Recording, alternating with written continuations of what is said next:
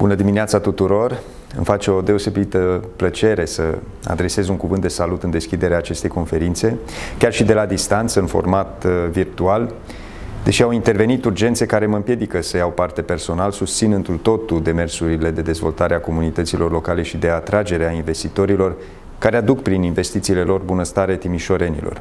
Îi felicit pe inițiatorii și organizatorii evenimentului pentru, pentru că au ales o temă de actualitate și mă bucur că uh, revista Patronatului Român și primăria uh, Buziaș uh, s-au alăturat experților de la International Development Institute în dezbaterile pentru implicarea capitalului privat în beneficiul comunității.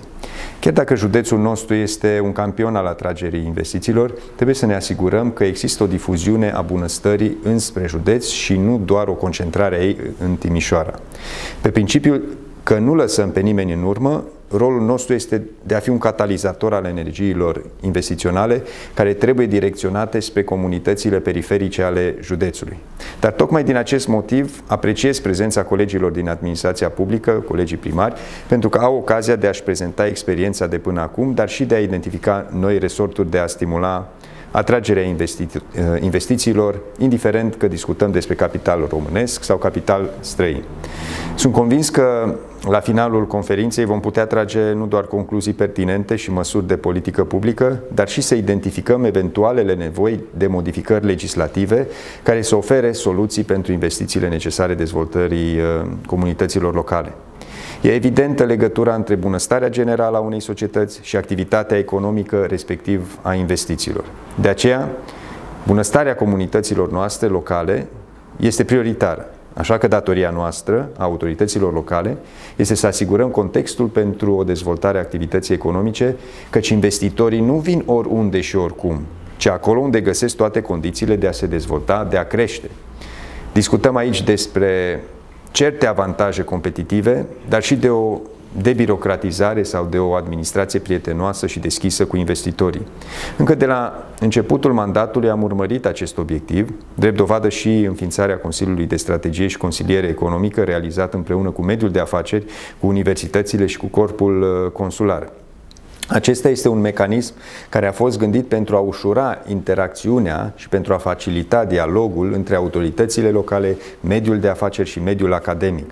Acest Consiliu va stabili principalele uh, elemente ale dezvoltării județului pentru următorii șapte ani, pentru că doar bazându-ne pe un dialog onest cu toți stakeholderii implicați și axându-ne axându pe nevoile concrete formulate, de aceștia vom putea interveni acolo unde este necesar.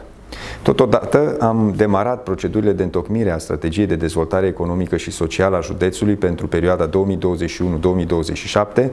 constatând faptul că la nivelul județului Timiș, unul dintre cele mai dezvoltate județe din țară, evoluțiile economice din ultimii ani s-au situat mult sub potențialul de care dispunem. În acest sens, am făcut primul pas ce se impune în rezolvarea oricărei probleme și anume conștientizarea faptului că este nevoie să identificăm noi resorturi de creștere economică. O creștere care va aduce odată cu ea și bunăstarea comunităților noastre. Altfel spus, e important să definim exact ceea ce ne dorim, unde dorim să ajungem, ce dorim să creăm și să lăsăm în urma noastră.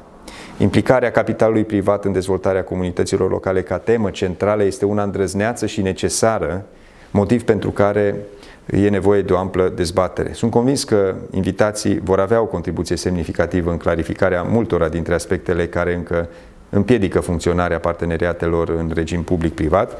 Din păcate, tocmai din cauza unei legislații în continuă schimbare, care mai degrabă îngreunează sau chiar pune piedici în fața unor astfel de demersuri, precum și din cauza birocrației excesive, proiectele începute în România ca parteneriat public-privat nu au avut până acum succesul scontat. Ar fi o necesară Uh, ar fi necesară um, o analiză temeinică a legislației referitoare la aplicabilitatea parteneriatului public-privat, cu accent pe motivele reale pentru care aceasta nu funcționează, unde ar trebui intervenit, care sunt aspectele care trebuie îmbunătățite și ce măsuri trebuie luate. Cred că aceste parteneriate ar fi esențiale pentru cazurile în care bugetul public este insuficient pentru investiții în infrastructură sau în domeniul turistic sau de agrement.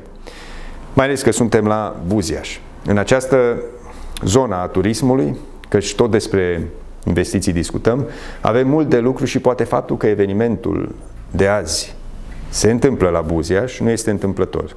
Avem cu toții multe provocări în față pentru a aduce Buziașul la adevăratul său potențial, mai ales că Timișoara, capitală culturală europeană, nu este doar despre Timișoara. Este un proiect al comunității care presupune o simbioză clară între cultură și turism. Trebuie să privim dincolo de soluțiile facile. Soluțiile facile nu aduc rezultate trainice. Trebuie să gândim integrat, convergent, ce vor face turiștii care vin în Timișoara? Unde îi ducem în județ? Ce tip de turism le oferim acolo? Cum ne asigurăm că ei vor reveni și în anii următori? Avem o șansă istorică aici și trebuie fructificată, iar în acest sens, pe Consiliul Județean și pe mine personal, vă puteți baza oricând. Doresc să le mulțumesc uh, organizatorilor pentru crearea acestui cadru de dialog și invitațiilor pentru că dezbat un subiect vital pentru dezvoltarea comunităților locale. Sunt convins că împreună vom găsi soluții la problemele discutate. Vă mulțumesc și vă urez mult succes!